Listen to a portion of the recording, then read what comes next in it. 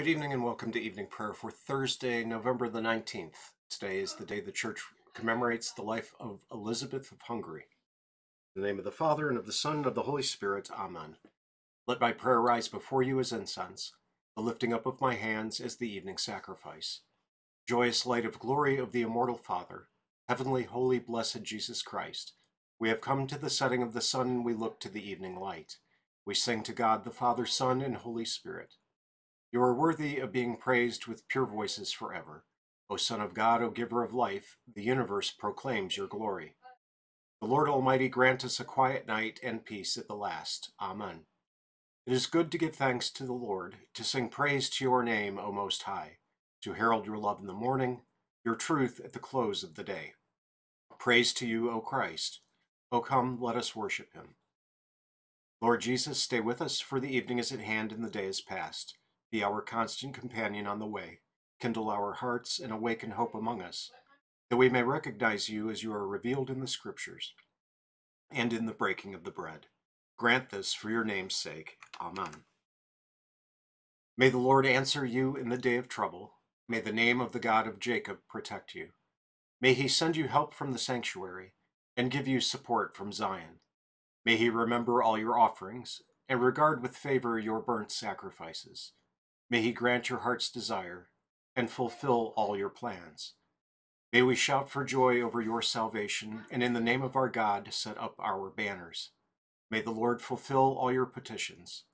Now I know that the Lord saves his anointed. He will answer him from his holy heaven with the saving might of his right hand. Some trust in chariots and some in horses, but we trust in the name of the Lord our God. They collapse and fall but we rise and stand upright. O Lord, save the King. May he answer us when we call. New Testament reading tonight is the conclusion of the account of Christ's Passion from Matthew chapter 27. When it was evening, there came a rich man from Arimathea named Joseph, who also was a disciple of Jesus. He went to Pilate and asked for the body of Jesus. Then Pilate ordered it to be given to him. And Joseph took the body and wrapped it in a clean linen shroud and laid it in his own new tomb, which he had cut in the rock. And he rolled a great stone to the entrance of the tomb and went away.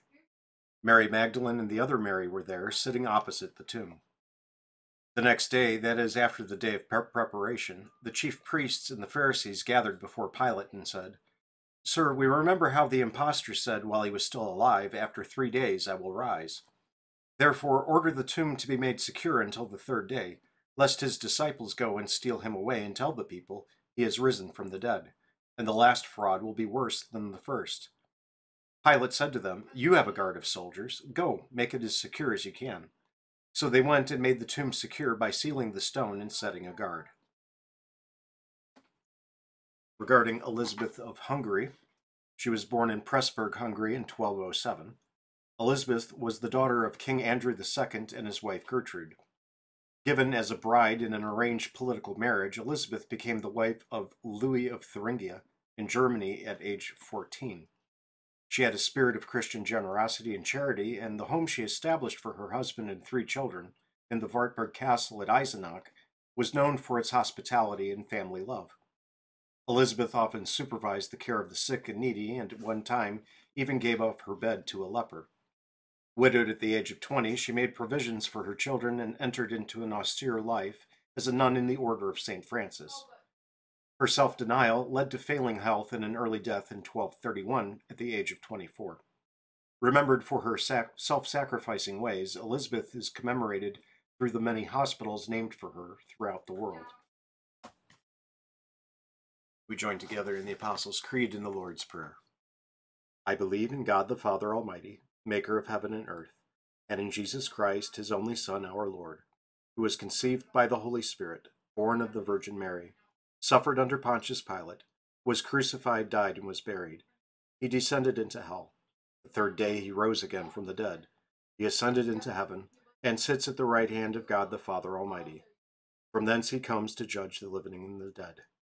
I believe in the Holy Spirit, the holy Christian Church the communion of saints, the forgiveness of sins, the resurrection of the body, and the life everlasting. Amen. Our Father, who art in heaven, hallowed be thy name. Thy kingdom come, thy will be done on earth as it is in heaven. Give us this day our daily bread, and forgive us our trespasses as we forgive those who trespass against us. And lead us not into temptation, but deliver us from evil. For thine is the kingdom, and the power, and the glory, forever and ever. Amen.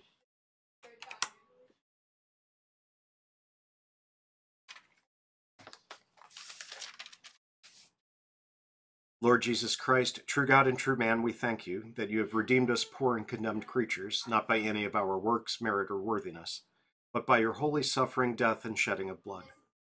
O Lord, your suffering was great, your torment was heavy. We cannot comprehend how many your stripes, how deep your wounds, or the bitterness and painfulness of your death. How inexpressible is your love that reconciled us to your heavenly Father. In great fear of death, you sweat blood on the Mount of Olives drops of blood that fell upon the earth, and there, abandoned by all your disciples, you willingly gave yourself into the hands of those who led you mercilessly, bound hard and cruel from one unjust judge to another. You were falsely accused and condemned, spit upon, scoffed at, and struck in the face with fists. For the sake of our misdeeds, you were hit, whipped, crowned with thorns, and treated wretchedly, like a worm and not a man. You were despised and rejected by men, a man of sorrows and acquainted with grief so that even a heathen heart took pity and said, Behold the man. For the sake of our sin, you were counted a sinner and hung up between two evildoers as a curse. You were pierced in hands and feet with nails, and in your highest thirst, you were given vinegar and gall to drink. Finally, in great pain, you gave up your spirit so that you could pay our debt, and we could be healed by your wounds. O Lord Jesus Christ, for this and all your other suffering and pain, we give you thanks and praise. We pray you, let your holy bitter suffering and death not be lost on us but grant that at all times this may be our comfort, and that we may boast in it, and that as we ponder it, all evil desire in us may be snuffed out and subdued, and all virtue may be implanted and increased, so that we, having died to sin, may live in righteousness, following the example you have left us, walking in your footsteps, enduring evil with patience, and suffering injustice with a good conscience. Amen. Mighty King, whose inheritance is not of this world, inspire in us the humility and benevolent charity of Elizabeth of Hungary. She scorned her bejeweled crown with thoughts of the thorned one her Savior donned for her sake and ours, that we too might live a life of sacrifice, pleasing in your sight and worthy of the name of your Son, Christ Jesus, who with the Holy Spirit reigns with you forever in the everlasting kingdom. Amen. Our short meditation tonight, is from Matthew 8 26. Why are you afraid, O you of little faith? Our Lord sustains us. When Peter walked on the sea and came to Christ, so long as he held to the word, the water had to bear him up. But when he turned his eyes from Christ and he let go the word, he saw the wind blowing and he began to sink. Therefore I said we must let go of everything and cling only to the word. If we have laid hold of that, then let rage and roar the world, sin, death, and hell, and all misfortune. But if you let go the word, then you must perish. This we see also in people who seek temporal nourishment. When they have sufficient and their house and barn are full, they easily trust in God and say they have a gracious God. But when they have nothing, they begin to doubt, then their faith vanishes. For they picture before their eyes that there is nothing at hand and no provision in store and they do not know how they shall exist. Thus, care and worry drive faith out of the heart. But if they would lay hold of God's word, they would think thus My God lives. He assures me he will sustain my life. I will go forth and labor. He will make everything right, as Christ says, Matthew 6:33. But seek ye first the kingdom of God and his righteousness, and all these things shall be added unto you. If I retained this word and would cast the other out of my mind, I would not come into need. I think we skipped our other one. Our other meditation with Luther tonight is from Matthew 6 14 and 15. If you forgive the failure of others, your heavenly Father will also forgive you. But if you don't forgive others, your Father will not forgive your failures. Forgive, and you will be forgiven. Some people wonder why Christ would attach such a condition to this part of the Lord's Prayer. If you forgive the failures of others, your Heavenly Father will also forgive you. He didn't attach similar conditions to other parts of the prayer. He could have said, Give us our daily bread today as we give it to our children, or Don't allow us to be tempted and we won't tempt anyone else either, or rescue us from evil just as we tried to help others.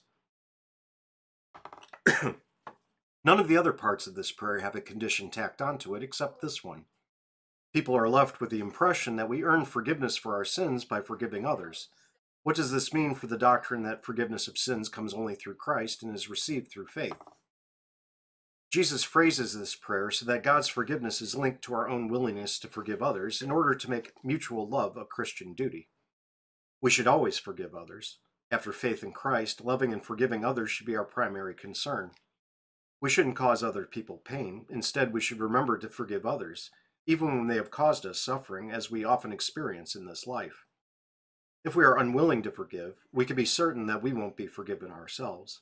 If we are full of resentment and hostility, that prayer will be spoiled and all of the requests in that prayer will be rejected. We must establish a strong and durable bond of love with other Christians that will keep us united. When we come before God in prayer, we shouldn't be divided into various splinter groups.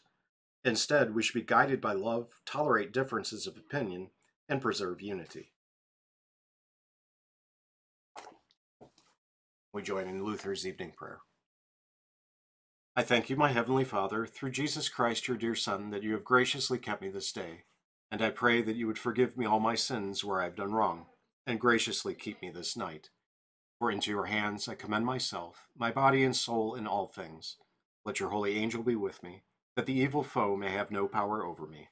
Amen. Let us bless the Lord. Thanks be to God. Good night.